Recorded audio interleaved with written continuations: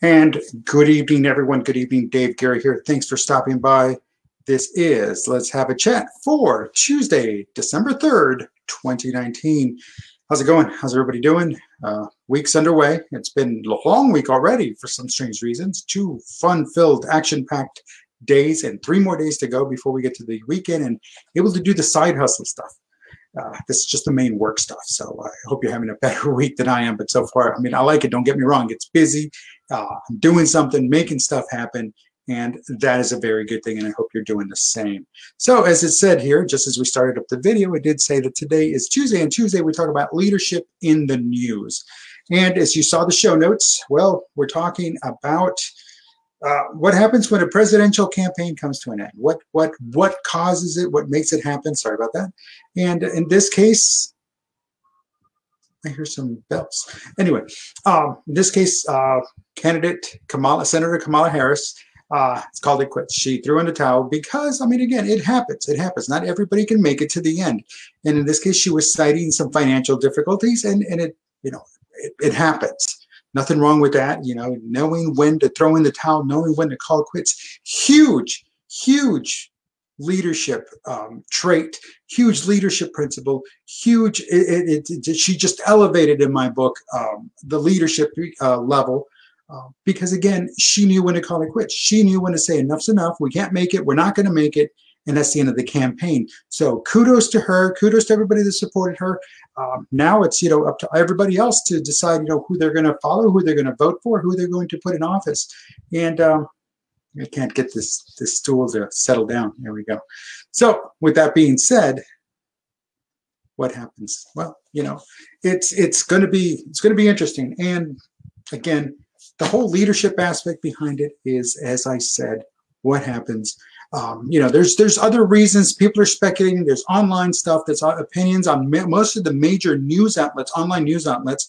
They're speculating a lot of infighting, um, the impeachment uh, that's going on right now. Uh, because again, if she was uh, running for president and she votes to impeach a sitting president, uh, who's also going to be running for re-election next year, wouldn't she be doing the same thing that, uh, well, she's voting to impeach you know, she's trying to be, you know, get rid of a potential political rival. So something to think about there because yes, it's a double-edged sword and it truly is a double-edged sword. That being said, the the leadership aspect of this is that she did recognize that hey, there are many things, and one of them was that the finances. Uh, the other reasons, uh, like, like, I mentioned, they were talking about infighting within the organization. Some people didn't like what, the way things were moving, the way things were going. But again, she still stopped took action, decided, you know what, I've evaluated everything and it's time to call it quits. Any leader that's available that's ready to do that, to say, okay, we fought the good fight, now it's time to bring it to an end, and knows that it's time to bring it to an end, uh, certainly is one worth watching because, again, um, she's no slouch. Don't get me wrong. I'm not saying that. I'm just saying that um, you know, because they call it no. What I'm saying is, is that she got there for a reason. She went on a platform. She got there on a platform. She won that election to be senator. But now to run the entire nation, that's a whole different level, a whole different set of, the whole different ballgame altogether. And I'm not announcing my, my candidacy for the president of the United States. But if I did, that would be one of the platforms is that it's a whole different ballgame. It's not one that's going to be something that's just, oh, well, I ran for local office, I ran for dog catcher, now I'm president. No, uh, it's not like that. Okay. So for her to, to take that leadership role and move her way up, up the political ladder, kudos to her. But again, she didn't get blinded by it. She was not blinded by what was going on. She was not blinded by the truth and not trying to run a campaign on well hope and hope and a prayer.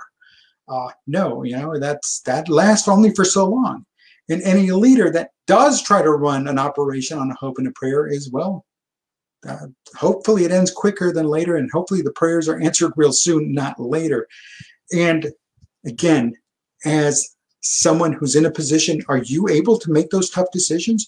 Are you able to say okay you know what? We fought the good fight. Now it's time to bring it to an end. Um, sadly i was in that position a couple of years ago and i didn't like it not one bit. I did not having to, i did not like having to tell people and then formally write a letter saying we're done. I, I hated that. That was the worst time in my life. Uh, but it happens. It happens. You have to at some point just say, you know what, we're going to have to throw in the towel. This is it. It's a done deal. We got to pick up, pick ourselves up, dust ourselves off, and move on and move forward. It's when those that don't or those that refuse to, that that's where the problems begin. Because again, they start living a lie. They start bringing everybody else into the lie, and that and that eventually starts hurting the followers, the people who believed in that leader. They eventually stop hurting. They stop.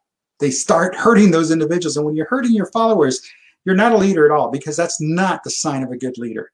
The sign of a good leader is saying, you know what, it's time to press up and press up. Uh, time to stop and press on, move forward, change something else, do something else, as opposed to dragging it down until you just can't drag anymore and it's just, you know, just a heap of a mess. So with that being said, again, kudos to Kamala Harris for realizing it was time and for not dragging it out and making it ugly. And again, good luck to her and her future endeavors and to everyone else. I bid you a good evening and uh, we will talk to you tomorrow. Have a good one.